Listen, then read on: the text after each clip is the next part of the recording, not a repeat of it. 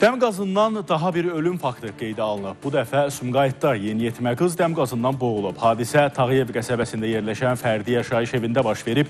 16 yaşlı Fatimə Nurəliyevanın meyidi hamam otağında tapılıb.